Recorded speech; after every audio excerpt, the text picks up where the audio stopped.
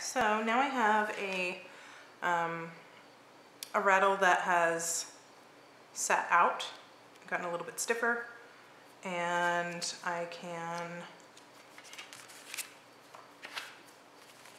use my ribs. If you don't, if you have dried clay on your tools and you start to use them, it, it will deposit, the dried clay will deposit onto the other clay and normally it just ends up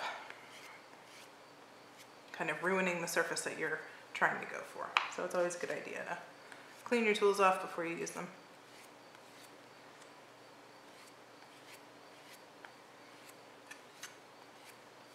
So you can see how smooth the clay really can get. And you know, even these little areas up here, I can still go ahead, smooth out with my finger. But now I really want to think about the shape and design of my rattle. Um, at this point, if you wanted to have a more geometric shape, now is the time where you would begin that process. It's a multi, multi-stage process where you work with the material um, as it continues to dry and get leather hard. But basically you would kind of pat it on the table if you wanted to get, you know, a, a cube or four-sided object. Right now it's got that air that's trapped inside, so it keeps kind of poofing out. And you can see that I've got kind of a crack there. That's actually a remnant from another design that I attempted that I didn't like. So I quote unquote erased it by using my serrated rib and then cleaning it up again with my metal, my smooth metal rib. So, you know, it, this material is new for many of you and this project is designed for you to explore. Explore what the clay can do in the various stages of drying, explore the different kinds of ways that you can interact with it with your tools, how much pressure you should use, how much you shouldn't use. Um, almost anything clay, clay is finicky and it is forgiving. Um, sometimes those, those two things don't seem to make sense side by side. But without, you know, barring literally popping it open, it would really take a lot to be able to say, well, this is ruined. I, I can't work with it anymore. And even if you do pop it open, you probably can put it back together with scratching and attaching. Um, so I kind of want this flattened teardrop kind of shape. So I'm just kind of patting it.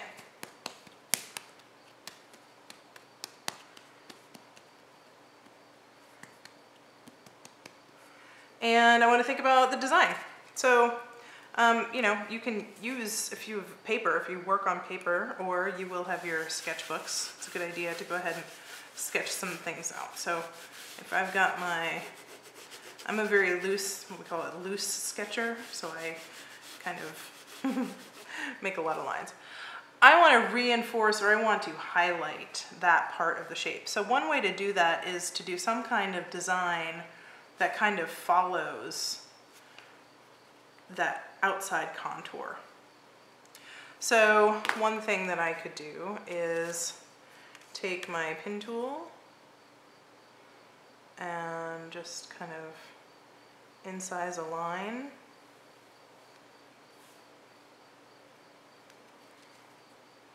Now notice I'm not using it like a pen, um, especially at this stage. I'm really dragging it.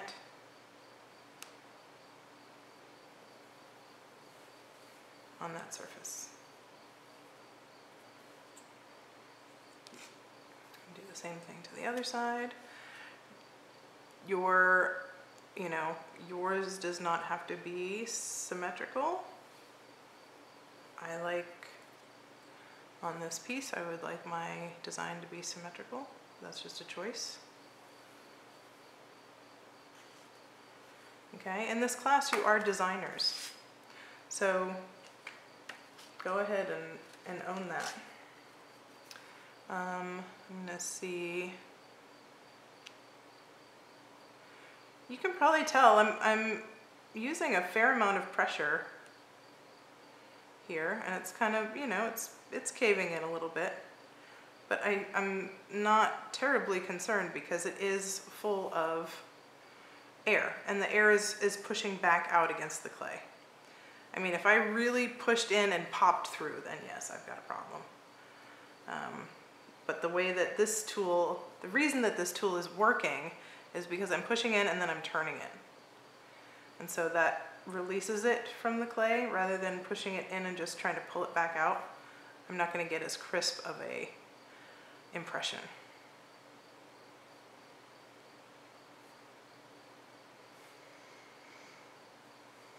You can get texture from a lot of different places. So just start looking around and seeing what's available to you. This is beginning to kind of look like an acorn, which I don't know if I'm really into, but we'll see once I get this other row of circles on there.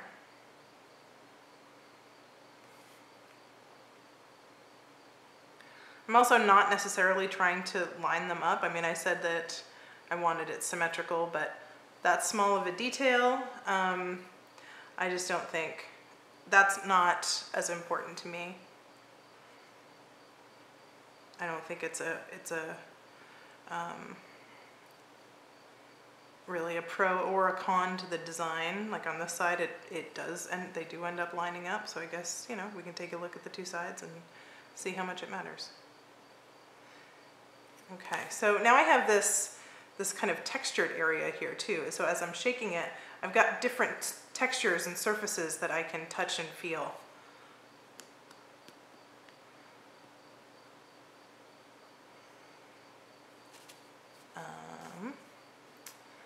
Could do something down the center here. I could do something that might go ahead and again highlight this kind of shape here. I kind of like the simplicity of this, um, but let's just go ahead and throw some caution to the wind. Now it's going to end up looking like a bug, resembling some kind of bug pattern probably.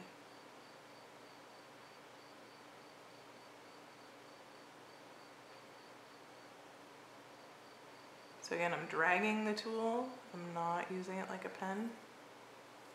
Kind of like that. Um, thinking about some vertical lines in here somewhere. Really know why. Seems like something fun to contrast the other patterns that are going on.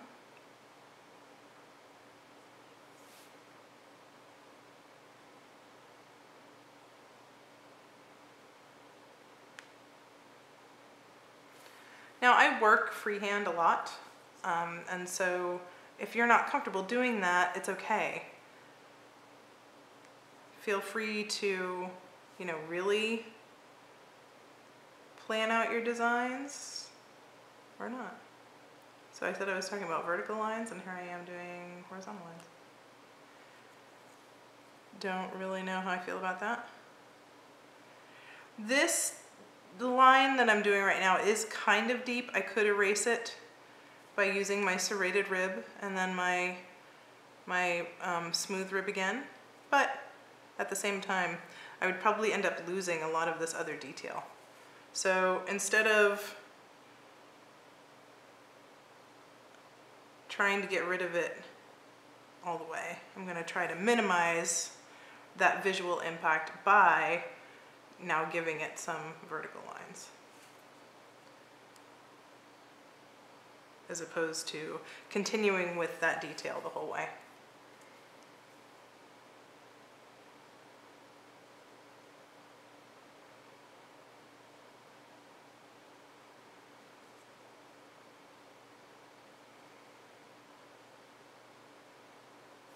Oops, sorry, out of frame. That's why I have this drawn on here. I did four videos before I realized that I was totally out of frame.